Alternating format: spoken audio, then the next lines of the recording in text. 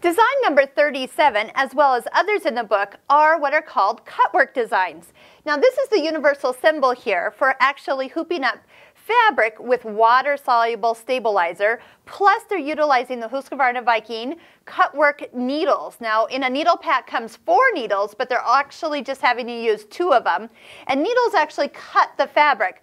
Of the four needles, two of them are north and south and east and west, and then the other two are diagonals, which cut fabric on the rounded part. So all these places are actually cut. So when I actually did this design, so here's the cutwork design actually done, all in monochrome actually. Now don't just turn that stop button off because it actually needs to stop when you do certain things like do the cutting and removing. So it actually has you cut the fabric out and then uh, go ahead and finish stitching. And then when you wash it out, that's what gives you the beautiful finish of the cutwork design. And so I just took a linen uh, kind of an antique linen piece. So it already had this beautiful lace on it and then just added this beautiful design. And when you wash it out, make sure you wash it really well so it gets nice and soft for just being thread and cut work just like they did by hand many years ago.